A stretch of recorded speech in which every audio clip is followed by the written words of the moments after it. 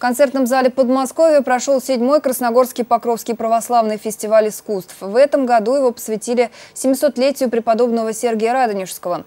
Имя этого святого тесно связано с такими понятиями, как патриотизм, просвещение и духовность, что, безусловно, соответствует основным целям Покровского фестиваля. Его участниками ежегодно становятся воспитанники музыкальных и воскресных школ. Главное требование – любое выступление коллектива должно быть на православную тему. Свои достижения в этом году продемонстрировали и без бессменные участники Покровского фестиваля – хористы Красногорской школы «Алые паруса».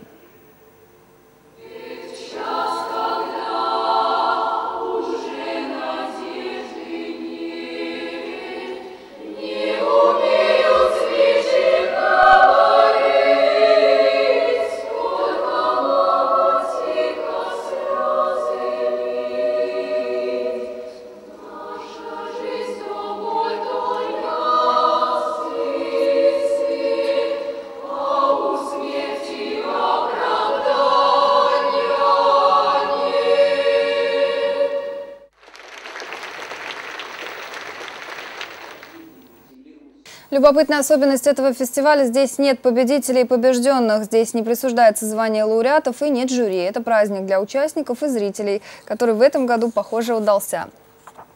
Я всех поздравляю. Спасибо нашим ребятам, спасибо руководителям за то, что вы несете тепло, за то, что вы несете духовную нравственность, теплоту, за то, что вы отвлекаете детей от всего серого и неинтересного, а несете все высочайшее, духовное, нравственное и просто патриотическое. Спасибо всех с праздником!